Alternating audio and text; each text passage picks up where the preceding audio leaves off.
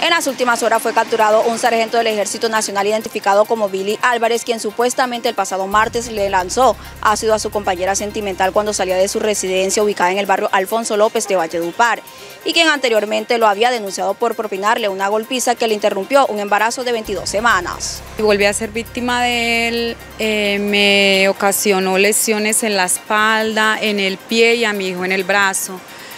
Eh, lo cual me dijeron que me quedara quieta y que quitara la demanda. Eh, gracias a Dios ya se dio la captura de él y ojalá pague por todo lo que me hizo.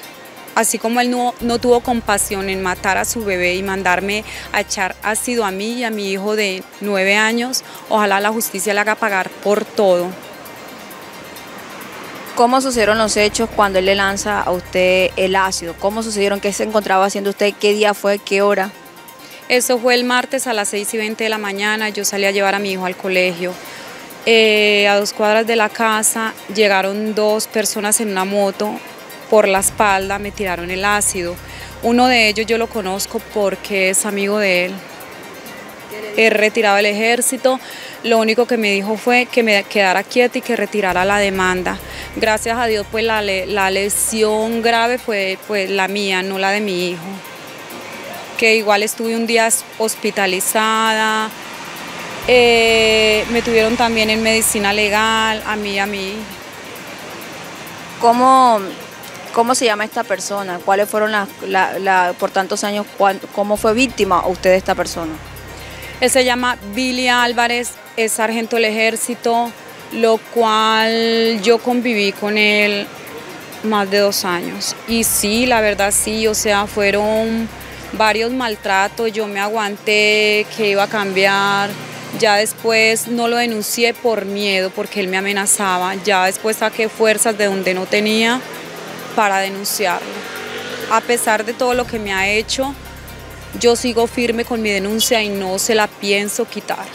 Eh, igual porque se demoró, igual por lo de las pruebas, los testigos y sí, o sea, a mí me parece que la justicia se demoró mucho conmigo, o sea, ya, mira, casi me mata, se demoró demasiado, pero ya, gracias a Dios, ya, ya lo capturaron.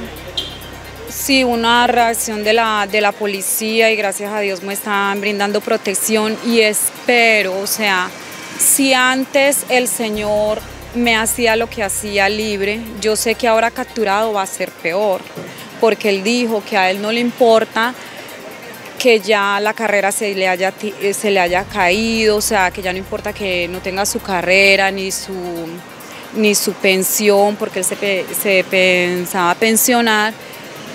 Y me lo dijo a mí, que así como se tiró la carrera y todo eso, no le importaba pagar unos pesos más para que me mataran. Y yo espero y se lo pido a las autoridades que ahora más que nunca me brinden protección, porque yo sé que ahora corro más peligro que nunca. Y yo, que me dicen que me vaya de, acá, de la, de la ciudad, yo no soy la que me tengo que ir. Al que tienen que sacar de él para otra cárcel, para otro lado, es él. A las mujeres que no nos quedemos calladas, o sea, sí nos da, hay veces uno por amor, por cegarse, decir no, que la perdono, que esto, que vea, o sea, que denunciemos, no nos quedemos calladas. ¿Está custodiada usted ahora en estos momentos por las autoridades? Sí, la policía me brinda acompañamiento cada vez que salgo. Igual mantengo encerrada en mi casa porque pues salgo y siempre hay un evento que salgo, siempre mantengo encerrada y cuando salgo a hacer una diligencia o algo, la policía me hace acompañamiento. Señora Cristina, usted me estaba mencionando ahorita que en horas de la noche el coronel del departamento del Cesar, Luis Alberto León, y otras autoridades estuvieron en su casa visitándola, hablando con usted para conocer un poquito más del tema que se dio a conocer a través de este medio. Sí, ayer estuvo el mayor, estuvieron varias personas en mi casa eh, conociendo lo del, lo del tema y colaborándome con mi seguridad y todo. Y espero que, o sea, que lo que me dijeron, que mi seguridad, que me iban a colaborar, o sea, no solamente sea palabras, porque de verdad ahora más que nunca yo necesito que protección para mí para mi hijo.